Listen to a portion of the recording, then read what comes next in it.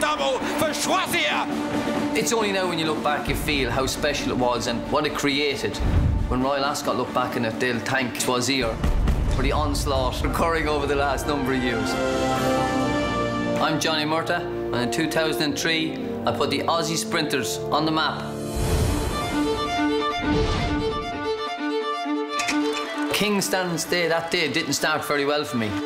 I was riding a two-year-old in the Coventry Stakes, and he reared over on top of me, entering the barriers.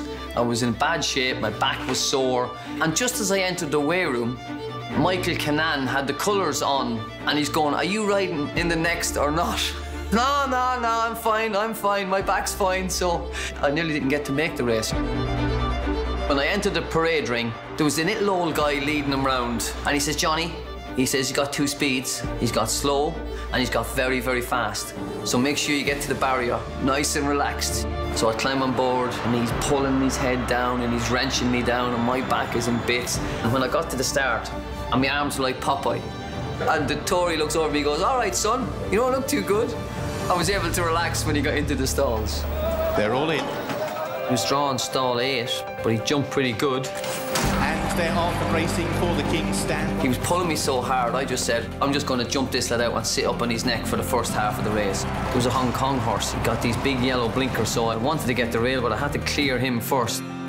Choisir going like the wind for Johnny Murtagh. For the first two furlongs, I was kind of two, three wide, looking in, looking in.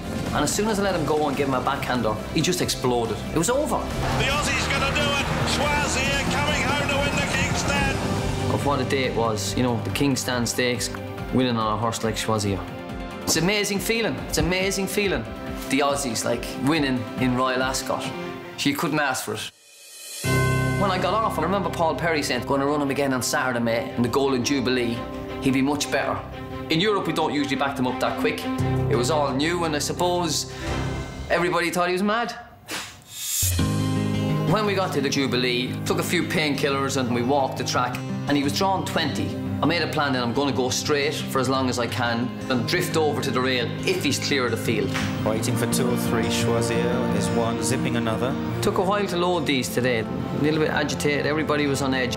This was a pretty stacked field. There was a couple of very good horses in it. I think the favourite was Airwave, the big hope from Henry Candy. She was unbeaten.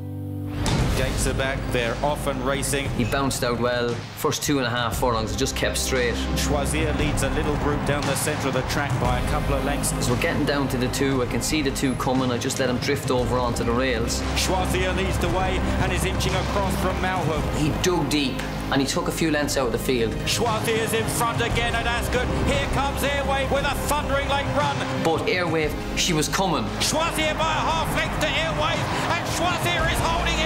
With the last three strides, you knew you had it done. And a remarkable Royal Ascot double for Choisir. He just kept responding.